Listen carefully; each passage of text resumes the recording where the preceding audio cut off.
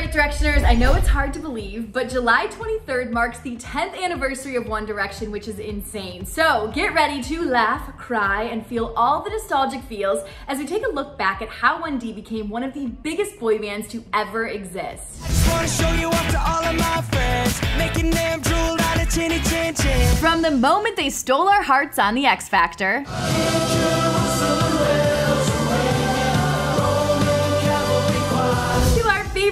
Videos we would stream on repeat so they would break literally every YouTube record. Cute as a button, every single one of you. Here's the true story of One Direction.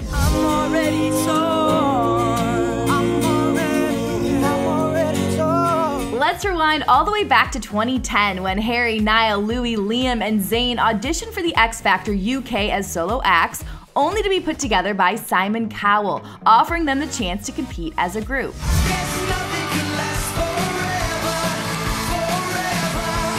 Although they didn't win the season, the end of X Factor was just the beginning for them.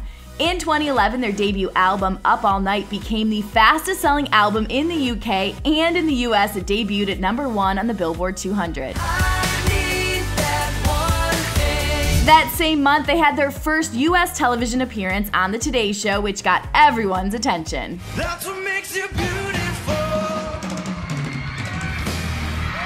From that point on, 2012 to 2014 was 1D Mania. Their world tours got bigger, they had books, documentaries, perfume lines, you name it, and they weren't slowing down anytime soon. After releasing their Take Me Home album in 2012, they launched their Midnight Memories era in 2013 by dropping their iconic music video for Best Song Ever. Song debuted at number two on the Hot 100, becoming their biggest hit to date.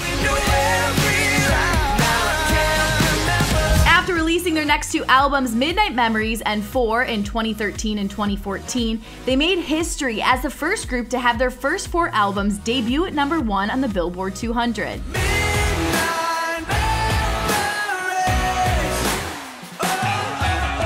By 2015, they also had six Billboard Hot 100 Top 10 hits, had performed over 300 shows across four sold out world tours, 2018 Choice Awards, and four Video Music Awards.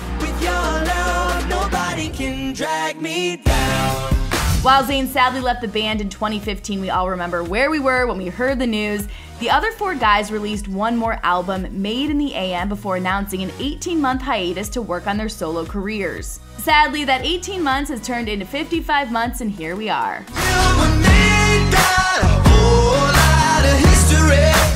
Lot of history indeed. All right, so what is next? Well, as we all sit here patiently awaiting that reunion tour, my fingers are crossed. Today, a 1D anniversary website has dropped, so get excited for that. So to find out more information on that website and also how you can celebrate 1D on their 10th anniversary, head to billboard.com. And until next time for Billboard News, I'm Chelsea Briggs and um, I'm a Directioner for life all the way.